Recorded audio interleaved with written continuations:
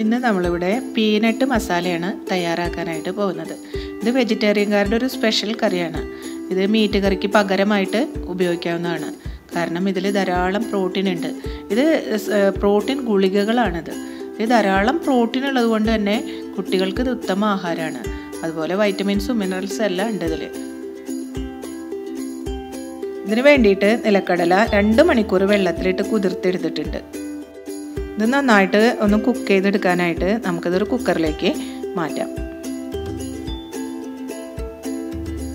ഇതിലേക്ക് ആവശ്യത്തിന് ഉപ്പ് ചേർക്കുക. കുറച്ച് മഞ്ഞൾപ്പൊടി ചേർക്കുക. ഇത് വേവിച്ചെടുക്കാനായിട്ട് ആവശ്യത്തിന് വെള്ളം ചേർക്കുക. നിലക്കടലയുടെ ഒപ്പത്തിന് വെള്ളം വേണം. ഇത് കറിവേപ്പിലയും കൂടെ ചേർത്ത് നന്നായിട്ട് കുക്ക് ചെയ്തെടുക്കുക. ഇതിപ്പോൾ നന്നായിട്ട് വെന്ത് കിട്ടിയിട്ടുണ്ട്. ഇതിലത്തെ വെള്ളമൊക്കെ മുഴുവനും വറ്റി വന്നിട്ടുണ്ട്.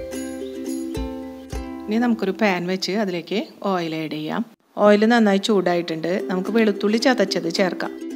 വെളുത്തുള്ളി ചെറുതായിട്ട് ബ്രൗൺ നിറാവുമ്പോൾ രണ്ട് സവാള നീളത്തിൽ അരിഞ്ഞത് ആഡ് ചെയ്ത് കൊടുക്കുക.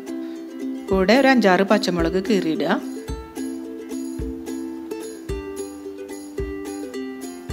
കുറച്ച് വേപ്പിലയും കൂടെ ആഡ് ചെയ്യുക.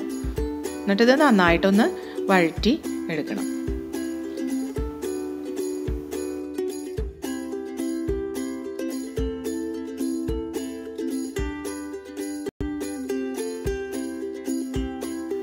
പാകത്തിന് ഉപ്പ് ചേർത്ത് കൊടുക്കുക. കുറച്ച് വഴണ്ടതിന് ശേഷം അല്പം മഞ്ഞൾപ്പൊടി ചേർത്ത് കൊടുക്കുക. പിന്നെ അതിലേക്ക് വേണ്ടത് ചതമുളകാണ്. ക്രഷ്ഡ് ചില്ലി ക്രഷ്ഡ് ചില്ലി ചേർത്ത ഒരു പ്രത്യേക ടേസ്റ്റാണ് ഇതിന്. എരിവൊക്കെ നമ്മുടെ ഇഷ്ടപ്രകാരം കൂട്ടിയും കുറച്ചൊക്കെ ആഡ് ചെയ്യാം. ഇനി നമുക്കിത് എല്ലാം കൂടി ഒന്ന് മിക്സ് ചെയ്തിട്ട് നന്നായിട്ടൊന്ന് വഴറ്റിയെടുക്കാം.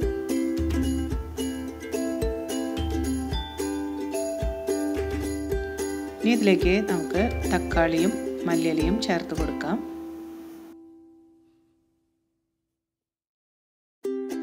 നന്നായിട്ട് മിക്സ് ചെയ്ത് കൊടുക്കണം.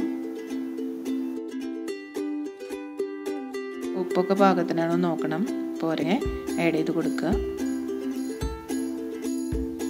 എല്ലാം ഒന്ന് വഴണ്ടതിന് ശേഷം വേവിച്ച് വെച്ച പീനട്ട് അതിലേക്ക് ആഡ് ചെയ്ത് കൊടുക്കുക. എല്ലാം കൂടിയിട്ട് നന്നായിട്ട് മിക്സ് ചെയ്തെടുക്കുക.